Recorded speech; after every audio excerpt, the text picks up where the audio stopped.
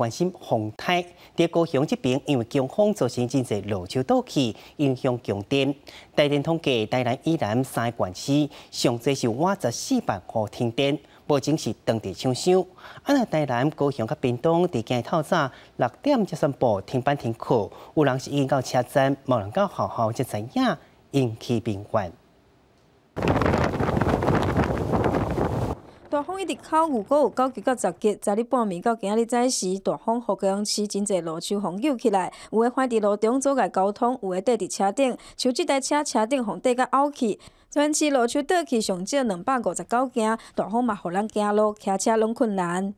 台风给高雄带来强风，你现在可以感觉到几乎人是没有办法走路的，而在旁边的路树呢是已经被连根拔起，摩托车呢其实也已经被吹倒地。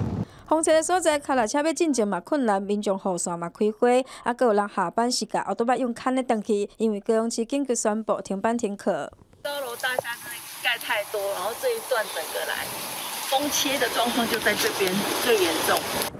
台南高雄屏东原本宣布，除了特定的所在，二十八号拢爱上班上课，在十六点左右，说雄雄讲全面停班停课。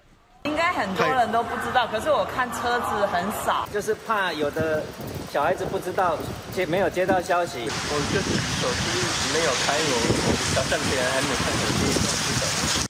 真侪人拢是雄雄接到消息才知影停班停课，非常的破关。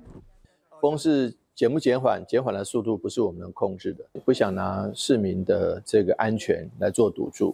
顾虑到我们通勤族朋友的安全，还要考量市民朋友们安全第一。台南、高雄、屏东市生活圈，我想顾虑民众的安全。